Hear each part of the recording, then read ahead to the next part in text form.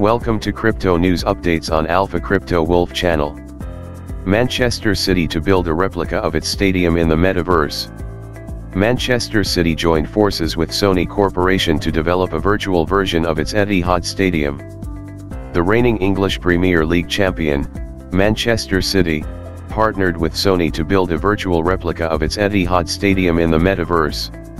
If successful, this would be the first soccer arena existing in the virtual reality environment. City joins the metaverse. According to Sports Illustrated, the professional British soccer team, Manchester City, is the latest club to dive into the metaverse space. City, as its nickname is, signed a three-year agreement with the tech giant Sony Corporation. While the project is still in its early phases, specialists have already visited the stadium to map it digitally and build a virtual version. Hit the subscribe button to get all the latest crypto news daily. Thank you.